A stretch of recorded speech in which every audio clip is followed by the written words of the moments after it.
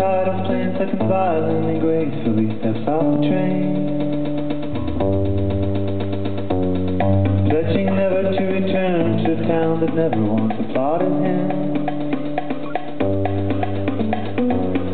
In a pedestrian town, he opens the case with aluminum trumpet blades. Soon the peasant's quiet treated to his harsh, tender serenade.